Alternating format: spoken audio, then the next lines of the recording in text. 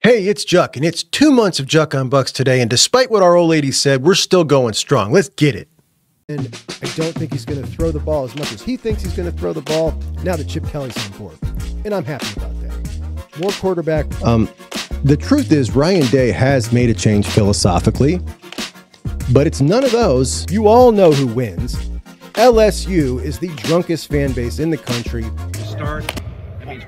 And welcome into the show. And it is a big day, as it is two months of Juck on Bucks today, and a big day for a couple of Buckeyes too, as superstar transfers Quinshon Judkins and Caleb Downs both got their black stripe removed and are officially Buckeye. Appreciate y'all accepting me here. I'm glad to be here. Wouldn't want to be nowhere else. Go Bucks. Hey! I thought for sure these guys would be the first two to lose those, but JJ Smith did first, setting the record, and the kid's unbelievable. You know, we should have expected it from the beginning. And the Buckeyes practiced on Tuesday, and they're going to practice again on Thursday and then again on Saturday. And that'll be the student appreciation practice. And that practice is going to feature a little bit of a scrimmage. And the press is finally going to be allowed back in to record some of that so that they can share that action with us. Um, that'll be practice number eight of the 15 spring practices. And we have not seen anything come out of there since practice number two, excluding a couple of pro day clips. And on those pro day clips, we got to see a little more of Will Howard and Devin Brown throwing, so that was pretty cool. But this is going to be a really exciting one. I can't wait to see him back in action. Um, I saw today from Bill Kurelic that Seth McLaughlin has lined up at guard for a little bit recently, and that jives with what we've been hearing about Carson Hinzman, who just may actually beat him out for that center position. Carson looks fantastic. He looks way thicker. You can see it. It's very visible. Uh, he definitely busted his butt in the offseason after getting benched in the Missouri game and I'm really proud of the kid. Put his head down and grinded. Um, you know, he could have been a real sourpuss after that. He probably would have seen some kids transfer after that, but he did not. And you know, I'm just trying to keep in mind, like the kid didn't wasn't excellent last year. He wasn't bad, but he was a freshman starting on the offensive line at Ohio State, and that is rare. And it just kind of goes to show how much he's got in him. And I really am rooting for him to win that job. That would be just a great story to me. Um, Bill Kurelic, it was interesting that he was the one that came out and shared that information because there were some people, myself included, who thought that it was a possibility that McLaughlin may end up at guard at Ohio State. And Bill Kurelic was having none of that during that transfer. And just about as nasty as a sweet old man could be, he was about that. Um, but I love that dude. But the number of times that these guys come out and angrily tell us Buckeye fans that basically, you know, we're wrong and they get it wrong is innumerable. So I'm going to point it out every time I see it. And Bill was wrong. We were right on that one. But uh, the Julian Sayin hype machine in full effect. Cannot wait to see him. We've seen next to nothing of Julian Sayin, maybe 30 seconds of clips total. And we've seen next to nothing of anybody really. Um, but I really can't wait to see him. And this is just going to be fantastic. I can't wait. And we've never had a team with this many interesting storylines going into it, this many different personalities, this many high profile transfers. The team is the most intriguing team in the country by a mile. So much so that Fox is now televising our spring game. I have rearranged plans that I was I was going to go out of town. I was going to Scottsdale with my wife, and I postponed that trip because I want to go to spring the spring game that bad this year. Um, and she wasn't too happy about it, as you can imagine. But she's okay with it. So that's going to happen. Um, and it's only Tuesday. I need to chill out my excitement uh, for this uh, this scrimmage on Saturday. But we're going to get uh, a lot of clips. We're going to get uh, our guy Dylan Davis back in here uh, to talk about what happened when he was there because he's going to film a bunch of stuff on Saturday. And today we had some coaches talk after practice.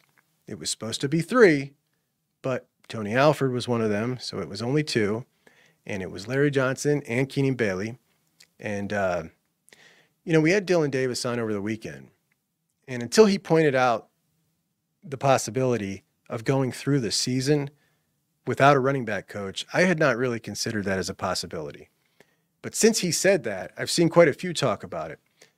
Uh, and he said something in that interview that all of a sudden we're hearing all over the place. He was talking about a one year deal, and it kind of just flew over my head. But all of a sudden, I'm starting to hear from a lot of different places that Ryan Day was offering one year deals to people. Now, I don't know if that's true. I haven't seen it officially reported, But if he was offering one year deals to Robert Gillespie uh, and DeMarco, like that would really be surprising to me. So if anybody has seen, I just saw that when I first started recording. If anybody's seen that, where that came from, let me know, because I haven't seen an official report on that or somebody, you know, with any reputable name put that in print. Um, but I have been seeing it on Twitter by a lot of fans, and somebody put it in my comments. Now I don't know if that's true or not, but if it is, and he went to a guy like Robert Gillespie, who's at Alabama, and offered him a one-year deal, obviously that was never going to fly asking him to leave Alabama to come to Ohio State. Uh, or DeMarco, same thing. I mean, these guys are at Alabama and Oklahoma. They're not leaving for a one year deal and burning a bridge at a place like that. So that would really surprise me if that was, you know, verified to be true. And I'd be really disappointed. I really would.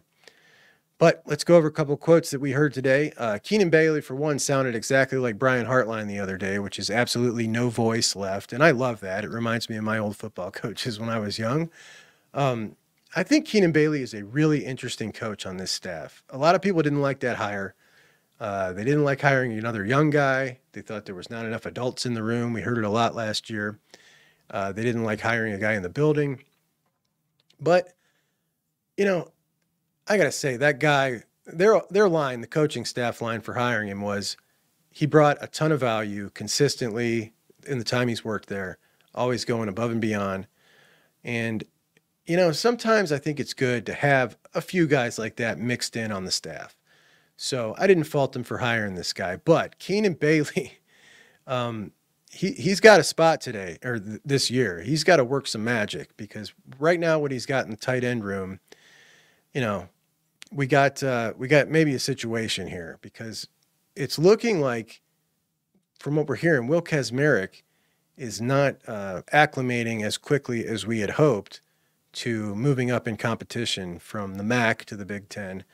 Well, from the MAC to Ohio State because he's playing against, uh, you know, big dogs across from him, and he's not picking it up so fast as, the reports we're seeing coming out of there. Um, I stuck my neck out on this guy, so he better not disappoint me because I've been saying for a while I think this dude's going to be a stud, and I still think he will be. He's got all the physical tools. We've seen them. He's got the right attitude. We've seen that. Um, I, I, just really, I, I just want to believe in him because let's put it this way, man. Keenan Bailey's going to earn his money this year. And if he can pull this off and those guys end up looking really good, then we're going to know what kind of coach he is. He's definitely got a great opportunity. We'll put it that way. Um, Jelani Thurman, Keenan said that he's going to have to uh, see something out of him and he's going to anticipate that he's going to see some significant playing time. So that'll be really interesting. Obviously, Jelani's a freak. Uh, everybody who's, you know, Dylan Davis said it when he was on here. He's a, the kind of guy when he's on campus, when he first shows up, you're just like, whoa. Um, and those type of guys are, uh, you know, they're hard to find. And I would love to see him on the field. But undoubtedly, Gee Scott is the leader of the room. Keenan said that today. The problem is, I mean, Gee's great. Everybody loves Gee. Gee's Gee might be a captain this year. I wouldn't be surprised at all if he was. But Gee's a little undersized. He's a receiver, tra- you know, transitioned to a tight end, and he's not the best blocker. Counting on him to play a whole lot of snaps and counting on his blocking is a liability. It just is. He also takes poor angles. It's consistently, I see it all the time from him. He just doesn't got a good knack for it. And when you're a little undersized, you know, that's what you need. And he doesn't have that, you know, that innate ability. Some some guys have that feel to just innately know how to take a proper angle, and he doesn't. So that's concerning. And uh, they really need Will Kaz to step it up.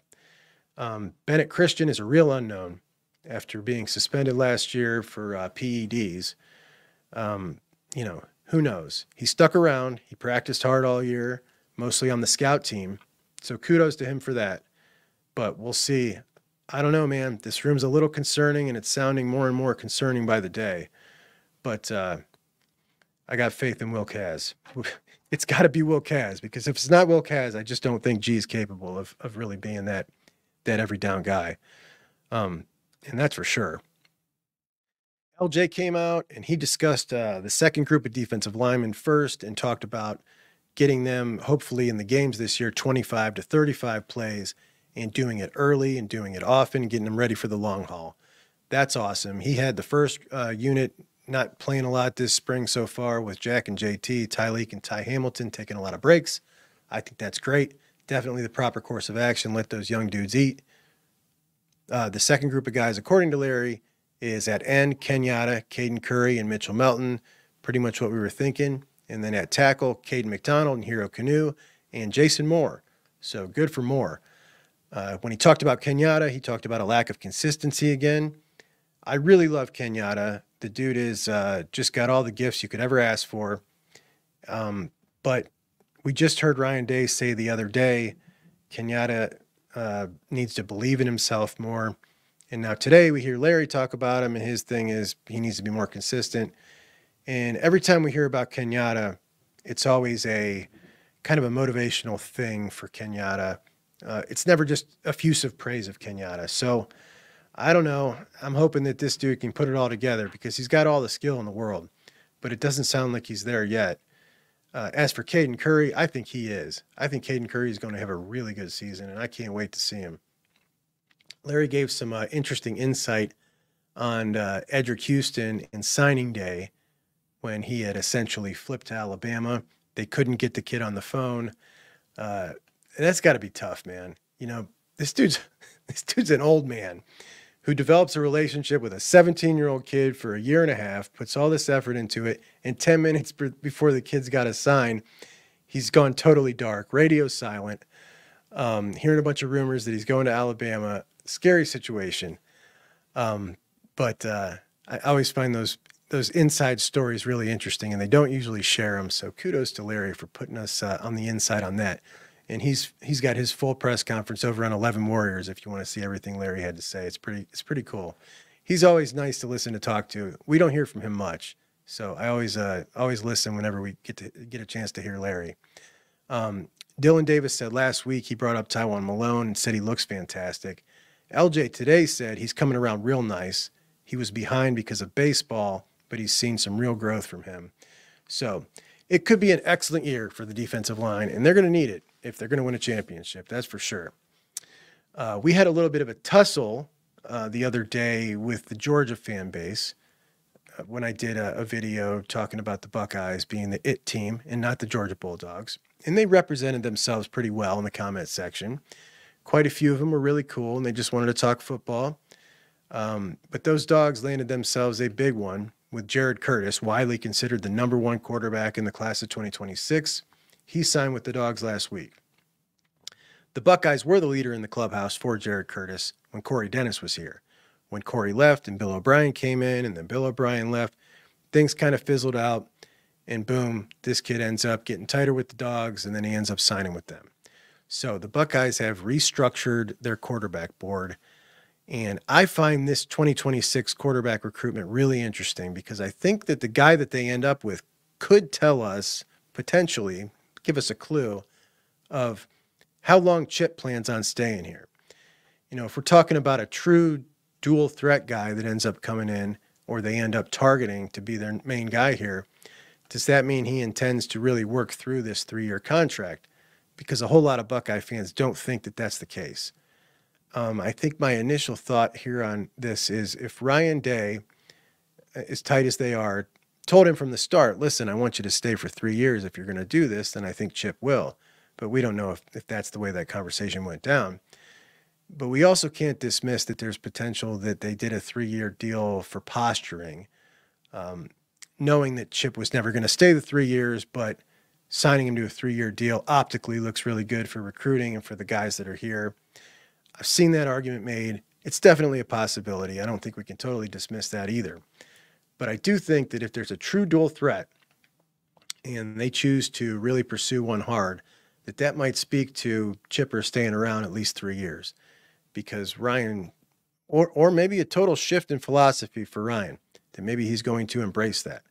You got guys that like to run the quarterback, guys that don't like to run the quarterback, and you got Ryan Day, and this guy is uh, quarterback run adverse.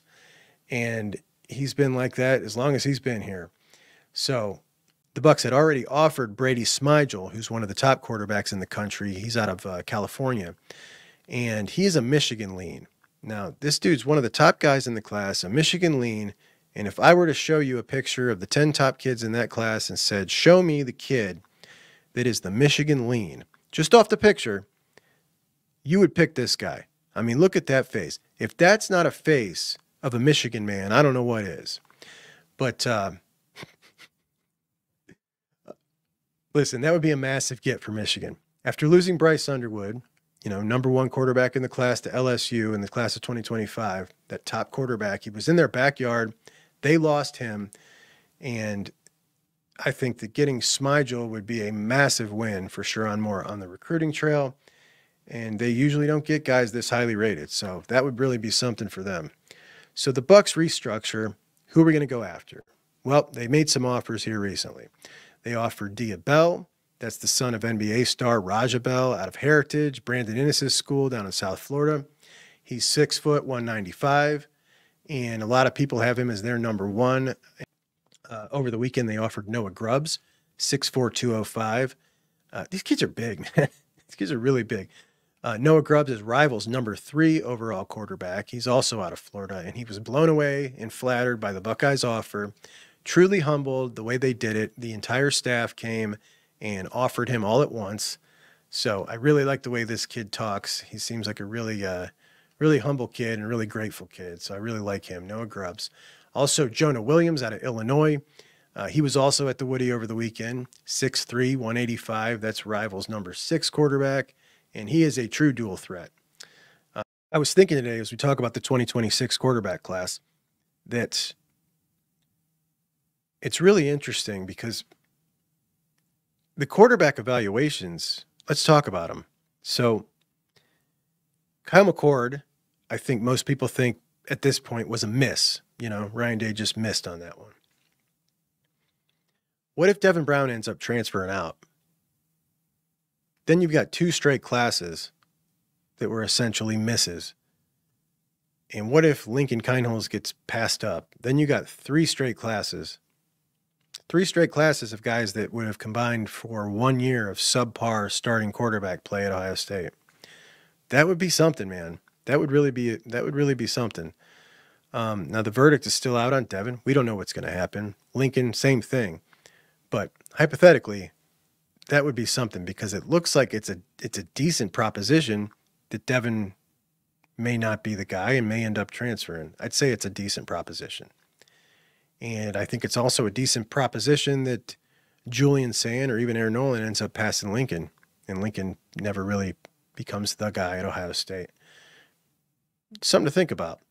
Devin Brown has uh, one of the top 10 highlight reels I've ever seen in high school. The dude was awesome. And I think if you've never seen it, it might change your opinion on him.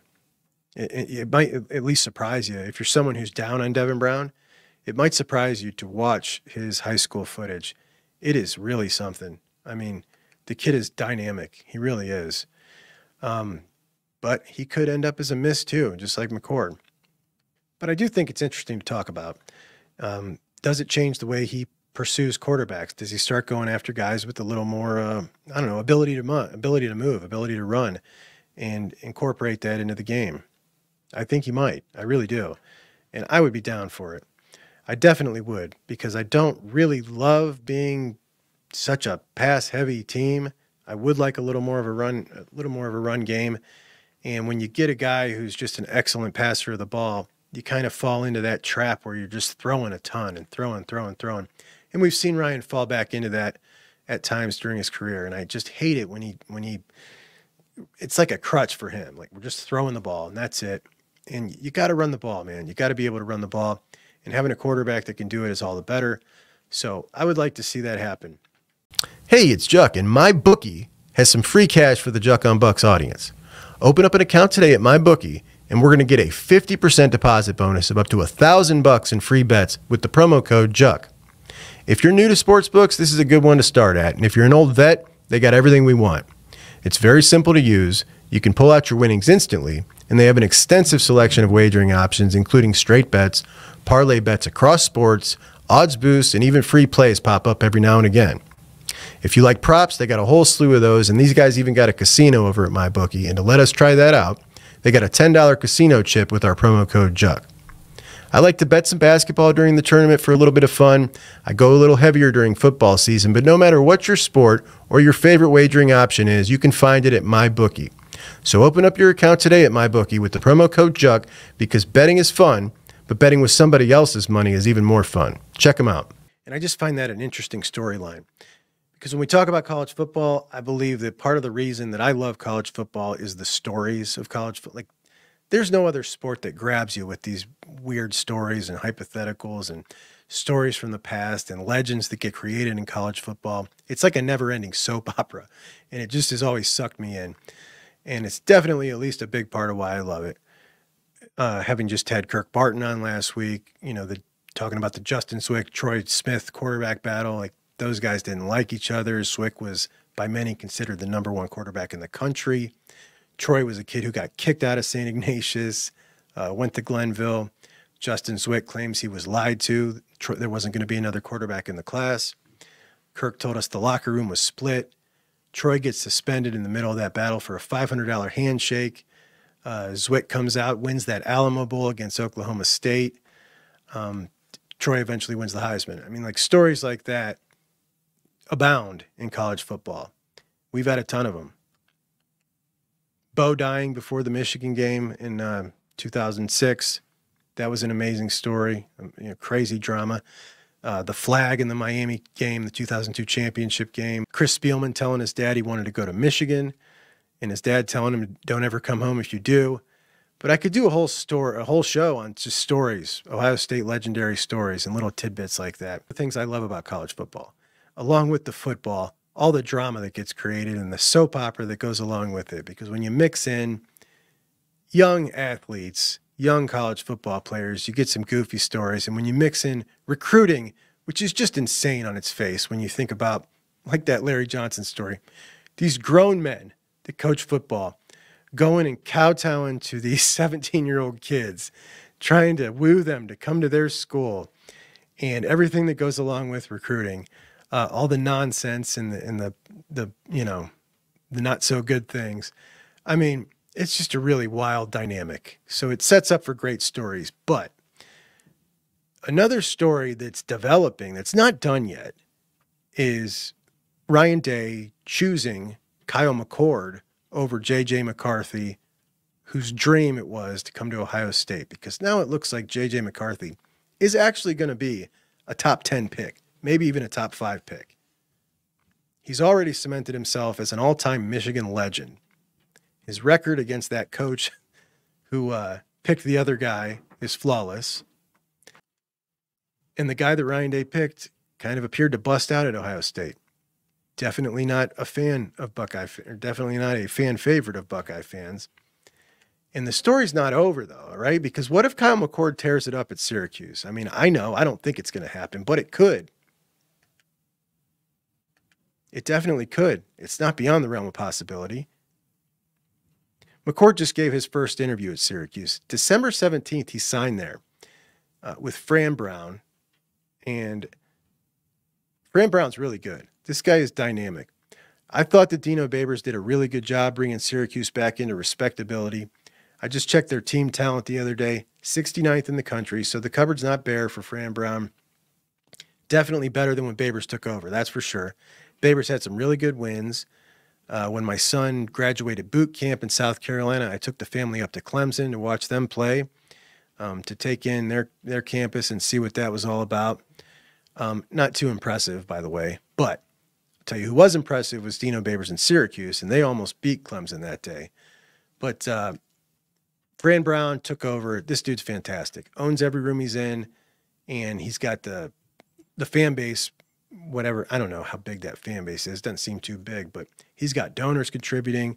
He went out and got a bunch of transfers, including McCord, and I always kind of liked Syracuse being good, so I'll be rooting for them, and I'll be following them closely because I think that the story with McCord and McCarthy and Ryan Day and that recruitment isn't quite over yet, and I don't have a ton of faith in McCord doing great but it could happen. Like, what if that dude makes it to the NFL and JJ busts out?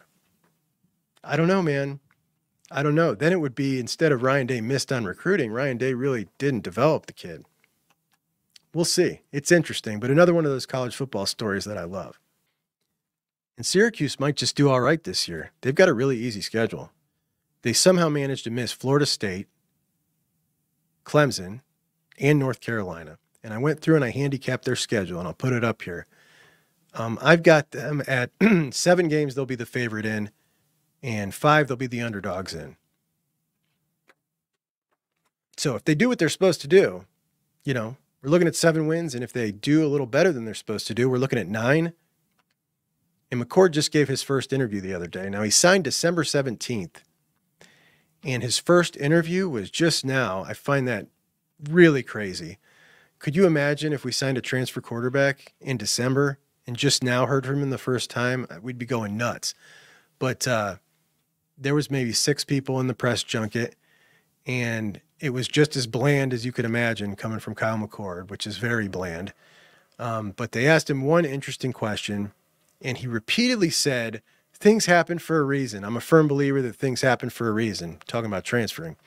And I find that really out of context because you don't use that phrase when you are the one that makes that decision. You use that phrase when something out of your control happens to you. But anyway, didn't surprise me that Kyle McCord had trouble speaking properly. But uh, the Syracuse Orange are definitely on my list of teams that I'm going to be following this offseason and definitely in the next season, along with Georgia for obvious reasons. I think they're the biggest competition and obstacle to a national championship for the Buckeyes. A lot of people in the comments say I'm being awfully dismissive of the folks that stand between Ohio State and Georgia ever meeting uh, in the playoffs, namely Oregon and Michigan.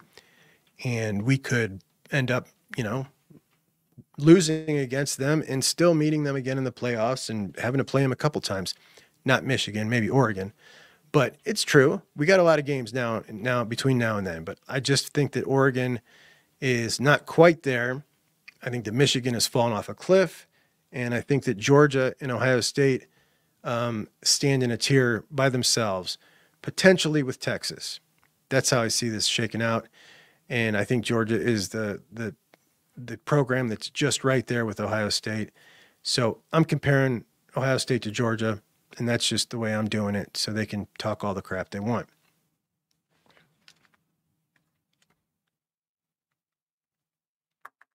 But the Syracuse Orange are on my list of teams that I'm going to be following this offseason, and I'm going to be really interested in them. And there's a handful. Um, Georgia, for obvious reasons, and a lot of people, when I talked about Georgia the other day, brought up that talking about Georgia is very dismissive of the Michigan hurdle that Ohio State has to get over and the Oregon hurdle that Ohio State has to get over. But unfortunately, and I didn't want it to be this way, but it is, um, Ohio State doesn't need to get over those as hurdles to face off against Georgia. I mean, they could meet them in a rematch in the playoffs. That could happen.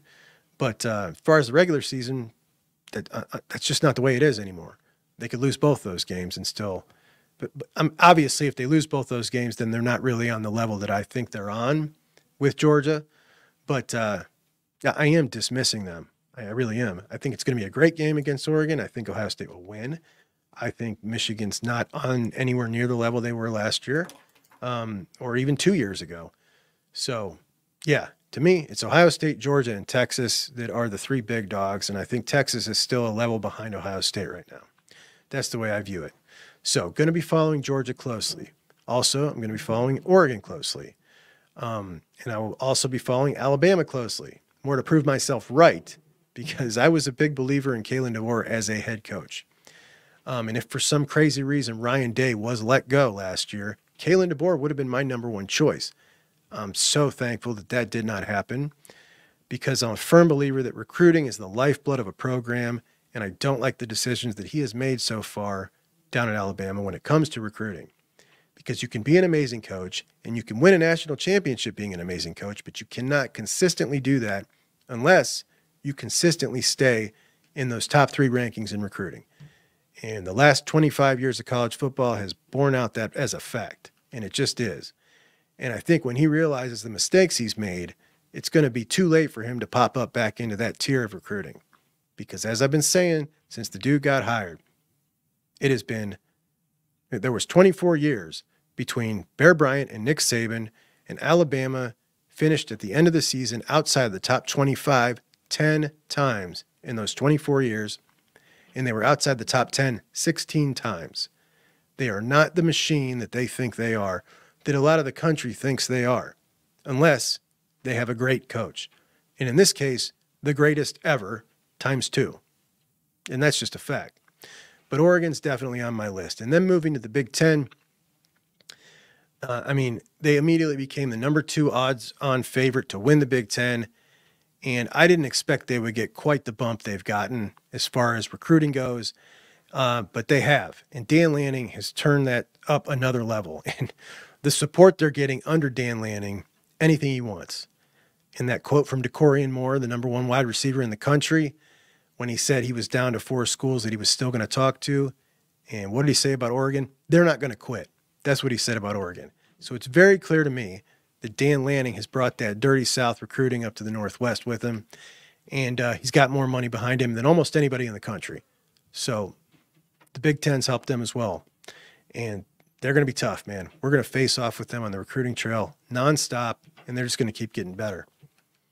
But uh, USC, I wasn't expecting the the things to.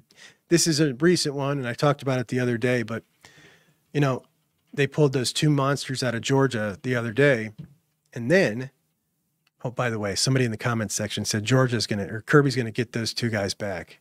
We'll see. Uh, but Lincoln didn't stop there. The following day, he went and got a top 100 safety out of Jamie French's high school down in Florida. Another one of these 6-1 safeties that all of a sudden we keep seeing everywhere, and I just it blows my mind.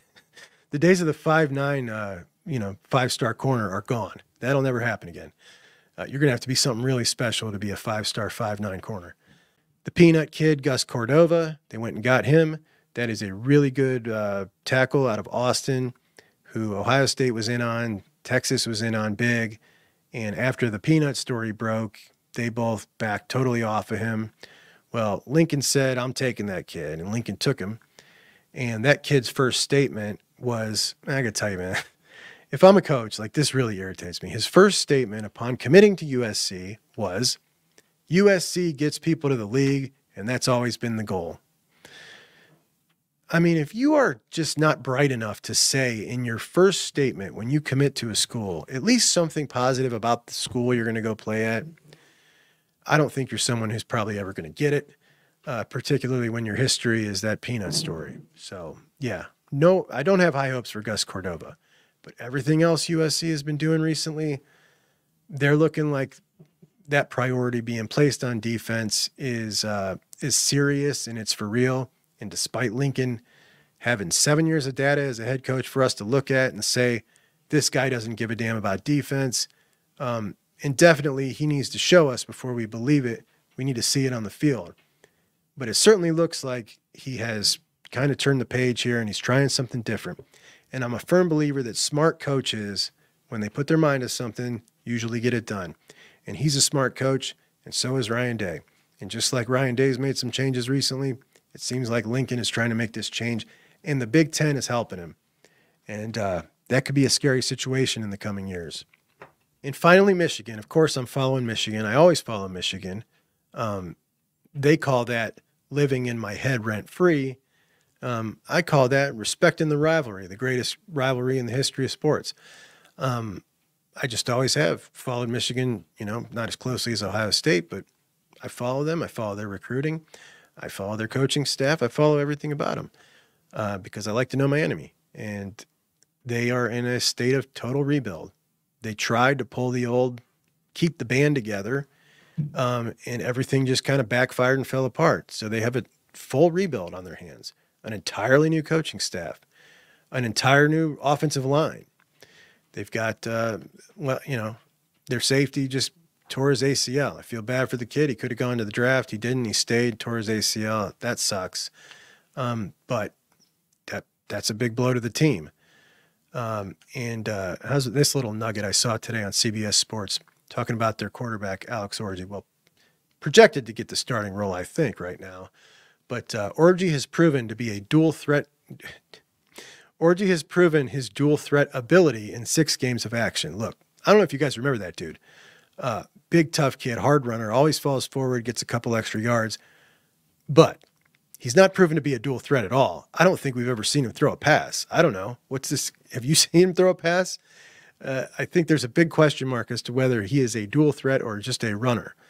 Um, and I don't know if you got this, but Sherrone Moore's tagline this year is smash. We're going to smash, which is super tough, Sherrone. Uh, and I'd make a lot of fun of it if Ohio State didn't have a tough love banner hanging up in the Woody. But uh, those are the schools I'm going to be following hard this offseason. So Ohio State, Georgia, Oregon, Michigan, USC, Alabama, and sweet little old Syracuse. And that's my show. But before it's over, I do just want to say today is two months of the show. And in my wildest predictions of how this would go for me, uh, month two, 3,000 subscribers and a quarter million views across platforms was nowhere near there. Uh, uh, uh, that wasn't making the list. Like, um, I'm blown away. Uh, I'm blown away by the support, the new friendships I've made, the new contacts I've made, uh, and it's just been amazing. I got no background in media, not a former player, former coach, or an insider. I'm just one of us uh, coming on, bearing it all, man. I'm a fan. I make no bones about it. I'm proud of it. I'm a little sappy at times. I love Ohio State football. I love what it's been in my life, and I love sharing that with you guys. So I just want to tell you, I really appreciate all the support I've gotten from you guys, the encouragement in the comments, and uh, I'm going to keep going on strong. I'm so excited for what we got going on here, and I appreciate y'all very much. So thank you so much, and I will talk to you tomorrow. Juck on Bucks out.